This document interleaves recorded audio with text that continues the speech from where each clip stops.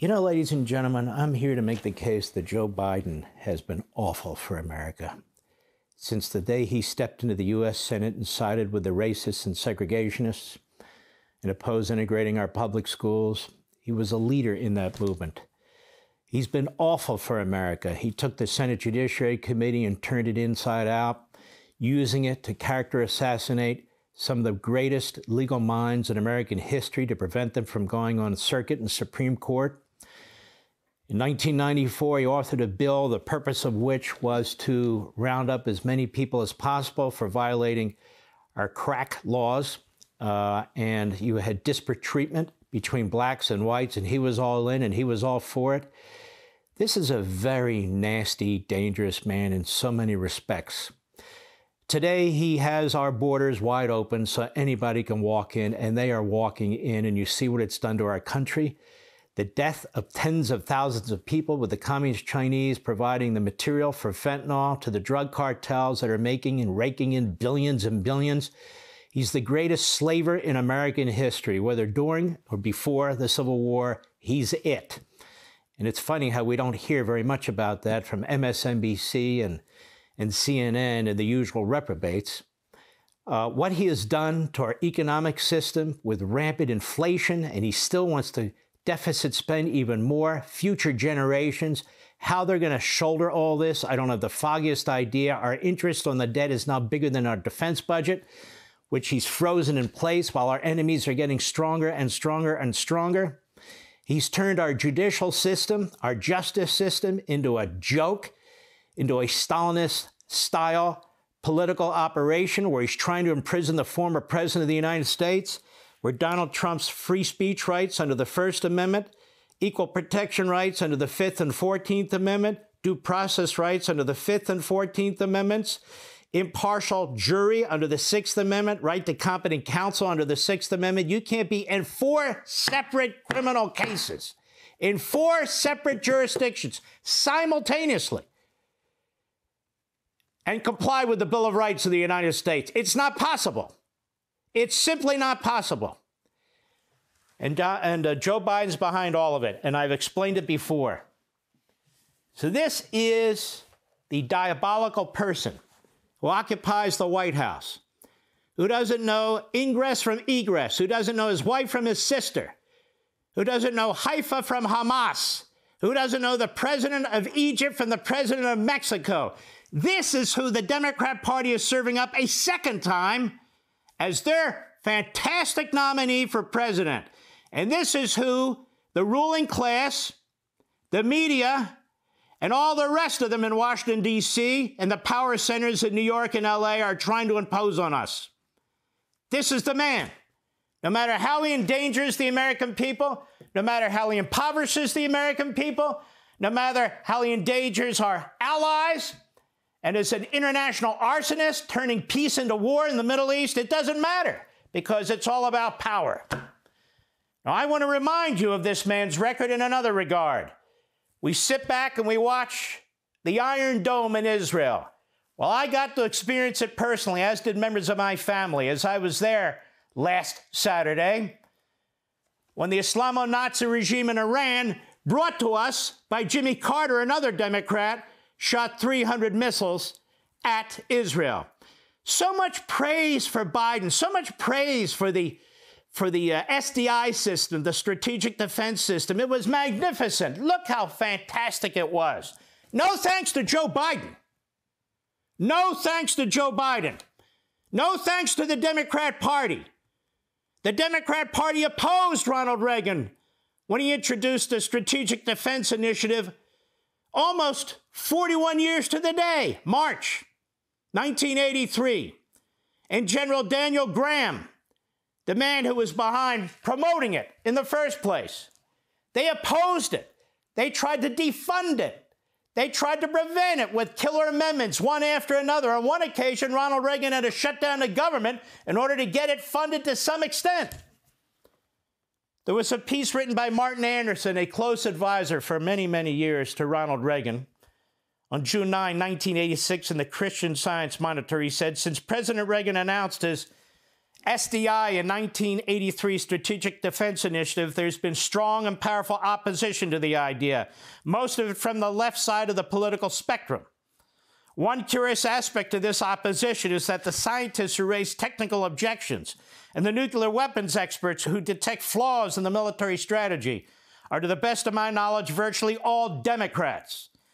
When you can safely predict that a scientist or nuclear weapons expert who is opposed to our missile defense efforts will more than likely turn out to be a registered Democrat, then you can be pretty sure you are dealing with a political issue, not a scientific one or military one. In fact, much of the Democrats' recent opposition, 1986, to the notion of missile defense can be explained as a reflex action to overwhelmingly political problem that they have. Two prime policy issues have dominated the political debate in the United States for the last 40 years. Again, that would be the last 80 now. Defense policy and economic policy. When either of our political parties gets crosswise with the American voter on one of these issues, it is in severe political trouble. And if it gets on the wrong side of both issues for long enough, it can destroy itself. The Democrats are already on the wrong side of economic policy. When Reagan announced his comprehensive economic program in the 1980 campaign, eh, they, they quickly denounced it, and that includes Biden. For the last five years, they have been searching desperately for an alternative. They have not yet found one, and the reason they have not found one is that none exists.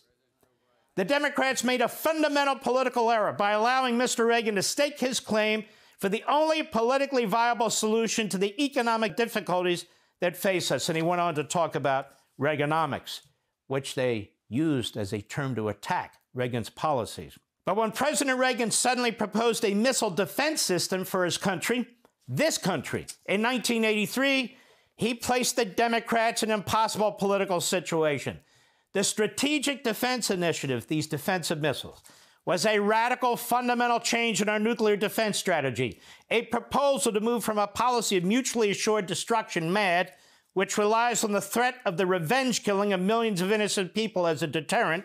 It always bothered Reagan. To a missile defense shield, which relies on killing incoming nuclear missiles before they can kill anyone.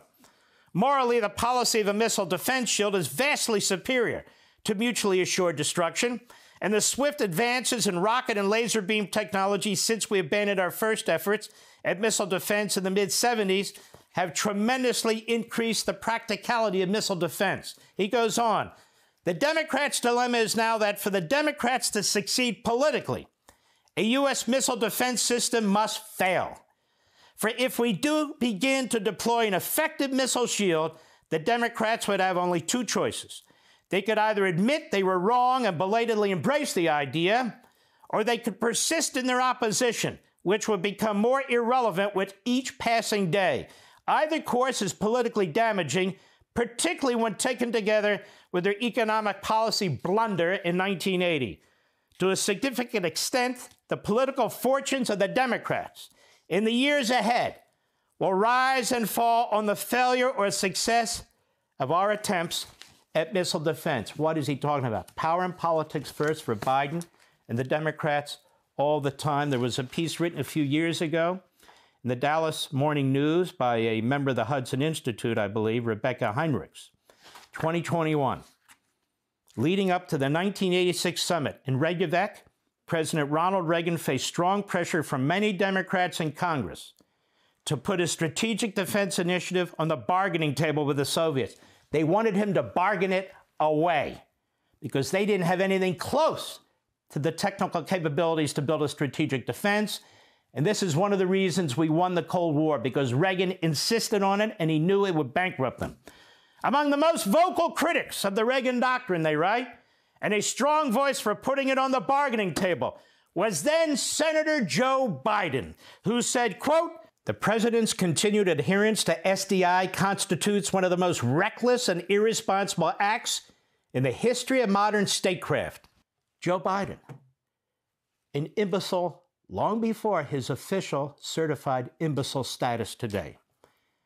Reagan stood fast in the face of that pressure, refused to back off his missile defense initiative. But the Democrats continued relentlessly to try and sabotage it. Here from CQ Almanac, 1985. Arms control advocates failed in repeated efforts in 1985 to impose substantial restraints on Reagan's anti missile research program, the Strategic Defense Initiative, which critics called Star Wars. SDI encompassed research on several possible kinds of anti missile defenses, including laser armed space satellites. They were trying different techniques. And they finally found one that they relied on. The arms controllers were against it. The peaceniks were against it. The Democrat Party was uniformly against it. Joe Biden was one of the leading opponents. That was 1983, 84, 85, 86. Reagan had to keep fund, fighting for funding. They tried to block even the, the efforts to test different systems. So in 1986, what did the Reagan administration do?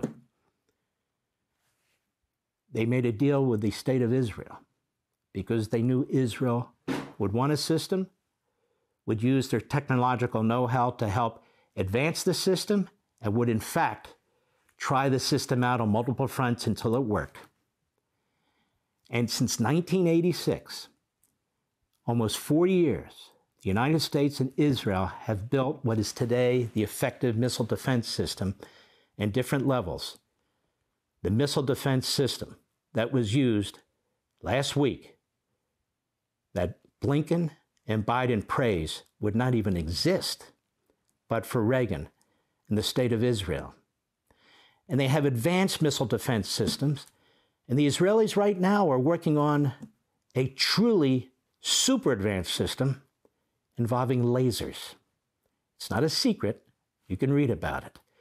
Laser systems that would shoot missiles, jets out of the sky with pinpoint accuracy and they are advancing in this research. All of this was possible because of 1983 and 1986. Can you imagine if Joe Biden had won the day? Could you imagine? This man is wrong in every respect. And now he is literally funding the Iranian regime to the tune of over $100 billion, funding them, telling Israel to take their foot off the gas pedal to hit the brakes. Don't defeat Hamas. Don't defeat Hezbollah. Don't you dare respond to Iran in a way that, that might actually expand the conflict. Joe Biden has blood on his hands. He and Blinken, these crackpot ideologues that are Iranian special pleaders who believe that they can rejigger and re engineer the Middle East by weakening Israel and empowering Iran. They have no plan for stopping Iran from getting a nuclear weapon. None. And they are funding it, as a matter of fact. Biden has blood on his hands in the Middle East. He has blood on his hands on the southern border. And if he has his way, the Iranians will get a nuke, and then what the hell are we going to do? Hey, Sean Hannity here. Hey, click here to subscribe to Fox News YouTube page and catch our hottest interviews and most compelling analysis. You will not get it anywhere else.